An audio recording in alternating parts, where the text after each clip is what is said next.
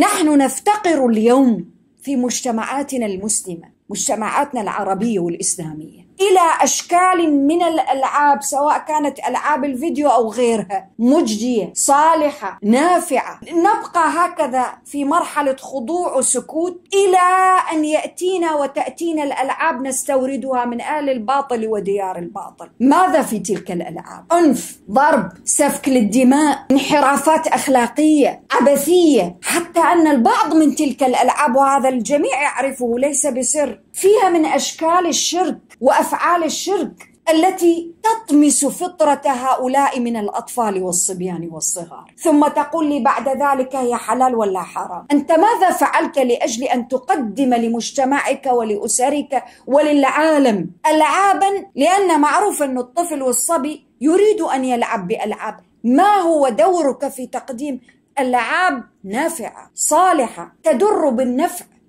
والصلاح والخير والعطاء على هؤلاء الأطفال والصبية والصغار. عوضا عن ذلك الغزو الذي يغزو العالم من الألعاب. نحن في مرحلة غزو ألعاب. هذه حقيقة. في السابق وما زال كانوا يقولون ويحدثون ويدرسون عن الغزو الفكري. صحيح موجود. ولكننا الآن نعيش مرحلة أخرى كذلك من هذا الغزو. أي غزو؟ الغزو الترفيهي. الذي جعل من أداة الترفيه أداة للسيطرة على عقول البشر والتلاعب بها وتسلل الباطل والأفكار الباطلة الهدامة المنحرفة إلى رؤوس الناس.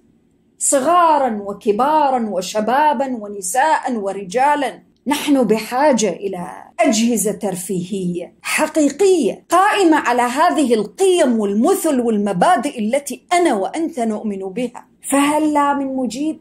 نحن لدينا طاقات في العالم الإسلامي والعربي. طاقات كبيرة تبرمج وتعمل وتقوم وت... فأين الإنتاج؟ أين الإنتاج واستدراك ما يمكن استدراك؟ وإنقاذ العالم مما من التهلكة التي يجر إليها.